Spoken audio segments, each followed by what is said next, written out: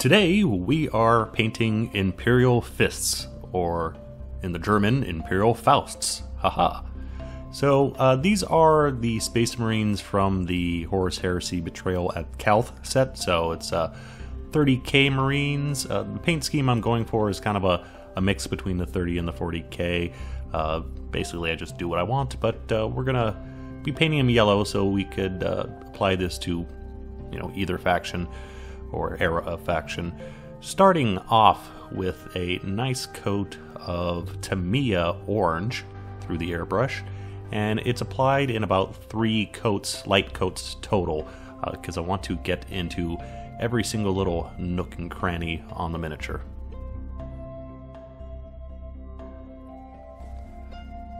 Next, we switched to Tamiya Lemon Yellow, and spray this on in a overhead halo fashion, uh, leaving the orange in some of the lower areas and the recesses.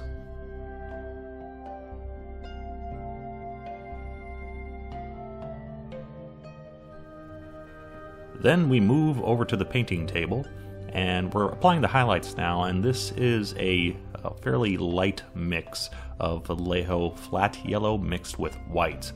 And so applying the highlights with a brush, and these are pretty stark, but uh, that's all part of the plan.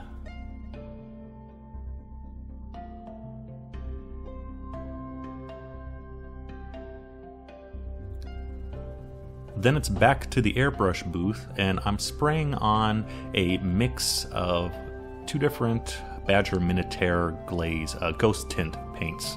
Uh, and we're glazing it with a 50 50 mix of orange and yellow.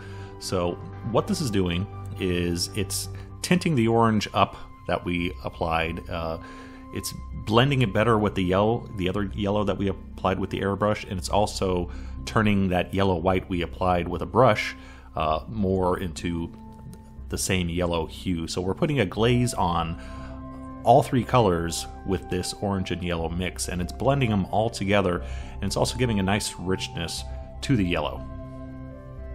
So this is applied in, I did about two or three coats. Uh, yeah, do have to be careful. Applying too much uh, is gonna, we're gonna lose all the colors then, everything's gonna be, uh, become solid yellow. And not enough, there's gonna be too much of a stark contrast between all three of those colors. Before moving on to the decals and all the weathering, I would normally have to apply a, an acrylic gloss coat uh, onto the model. However, the uh, Badger Minitaire ghost tints are actually so glossy, we can skip that step. So moving right on to the decals, and yet round surface shoulder pads, very difficult to uh, apply decals to. So we're using micro set first, uh, placing the decal down, getting in position, and then pressing firmly with an old t-shirt holding for about 30 seconds and then waiting about taking off waiting 30 seconds checking it pushing down again and basically repeating this process back and forth until we can finally bend the decal to shape. And then after letting it dry for about 10 minutes, uh, applying about three or four coats of micro sol, uh, letting the decal completely dry in between each coat. And that will help it uh, suck down to the surface and take care of virtually all the wrinkles. And then after all that's dry, we apply an acrylic gloss after that to seal everything down permanently.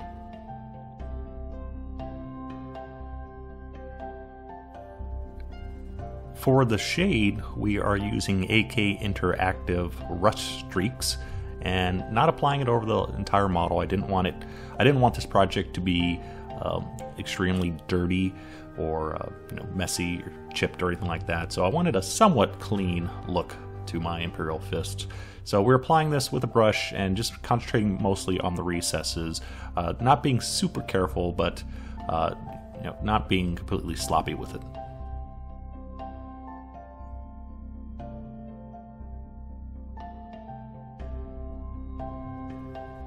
And then once it's dry, after about 15 minutes, we clean up the excess using a cotton swab. Uh, you can use a makeup applicator, a sponge makeup applicator for this, which people keep telling me to use. Um, yeah, I have tried them. I don't like them. I do prefer the cotton swab because it's more absorbent and cleans off the uh, excess wash better. Uh, it does leave little bits of cotton here and there, but after everything's completely dry, uh, scrub it lightly with a toothbrush, and that'll take care of majority of the little loose threads.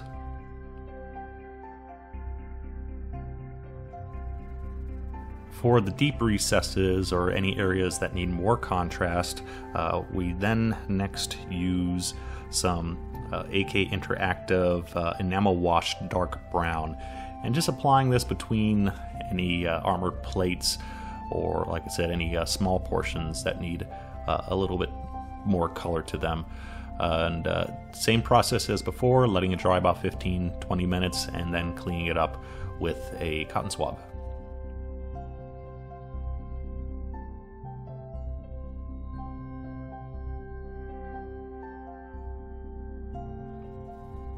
After letting everything dry overnight, I sprayed the model with a dull coat, Testors Lusterless Flat. Uh, the reason for that is because paint does not stick very well to a glossy surface, so you have an easier time if you gloss coat it first. Uh, the first color we're painting by hand here is Vallejo Model Color German Gray, and this is going over virtually all the, the small details on the figure. Uh, this is going to be the areas that are going to be, uh, well, black, uh, metallic, or virtually anything else I'm, gonna, I'm undercoating with this color. Um, this is replacing the black you would normally see on Imperial Fist because even though I didn't want this these models heavily weathered, uh, I went with German gray instead of black, just so it looks more like a faded black. Uh, it was not a very, so it's not a very stark, um, intense black to it. I wanted something just a little bit lighter.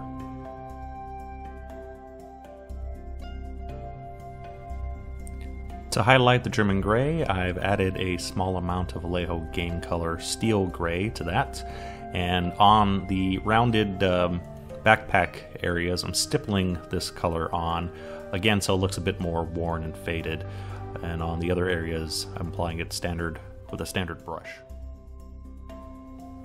And then for the final highlights, mixing in a little bit of Vallejo Game Color Glacier Blue to that previous mix, and just doing the edge work on the, uh, the backpack, the shoulder straps, and the gun.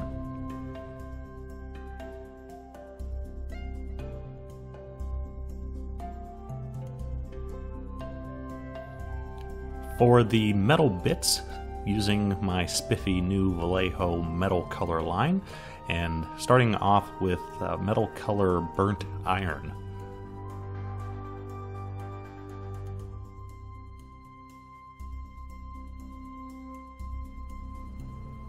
And then to highlight the metal, we are using Vallejo Metal Color Pale Burnt Metal. We're not done with all the metal bits yet, but we're going to skip ahead.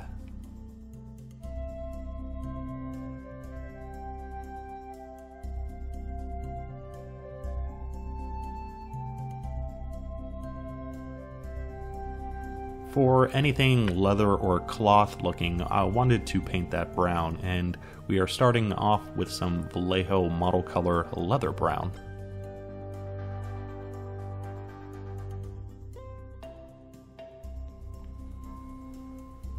Then we highlight the leather brown with some Vallejo model color flat earth.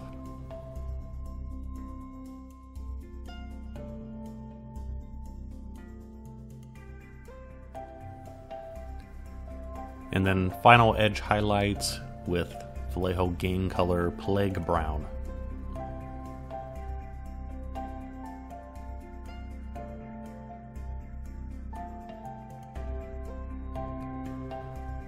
Last thing to do is to mix up a thin wash of black ink and apply that not just to the brown areas, but actually going back and applying it to the metal areas and the German gray as well.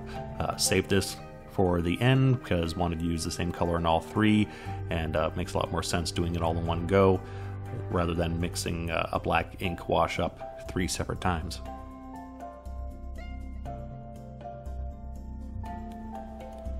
Super simple job on the eyes. It is simply Vallejo Model Color Deep Green and then once that's dry, applying a very small dot of Vallejo Model Color Flat Yellow.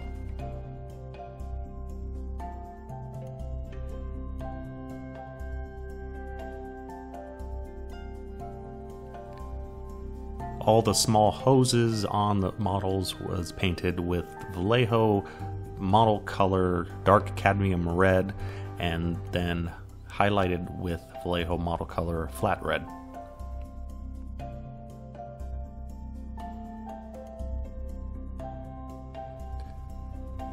And then finally going back to the yellow armor, wanted a, a bit more highlight to it, so I want to do some edging.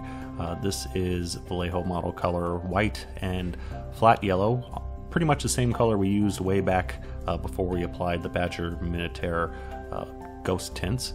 And uh, applying it just very sparingly just on the edges of the plates on the top areas, and uh, that really helps to make the armor really pop.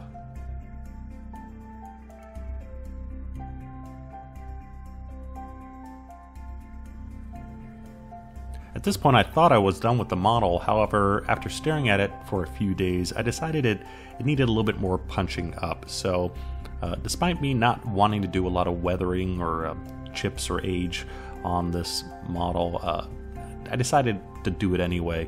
And so I'm adding some uh, somewhat comical uh, paint chips, scratches to the armor. Uh, not going for super realistic because that's not you know the goal I was trying to achieve here, but with a very small brush using the tip, applying some, uh, basically the same mix that I just used to highlight the armor. It's uh, flat yellow and white, and applying chips here and there. Uh, somewhat concentrating more on the edges, uh, but just trying to fill things in wherever I think it needs it. And also, I'm trying to clean up any paint mistakes I made along the way, covering it up with the uh, paint chips. The yellow and white is actually the highlight for the paint chips that I'm painting in right now using Vallejo Panzer Ace's Dark Rust. It's easier to paint it in this order rather than doing the dark, dark rust first and then applying the yellow white. So applying the dark rust uh, onto the previous chips and not covering the entire chip but leaving a very thin line at the bottom and that uh, little edge highlight really helps to make the paint chips pop.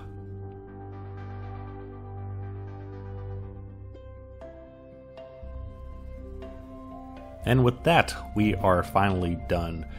The goal for this project was I really didn't want to do a heavily weathered Space Marine. I know a lot of people are doing that with the Horus Heresy models.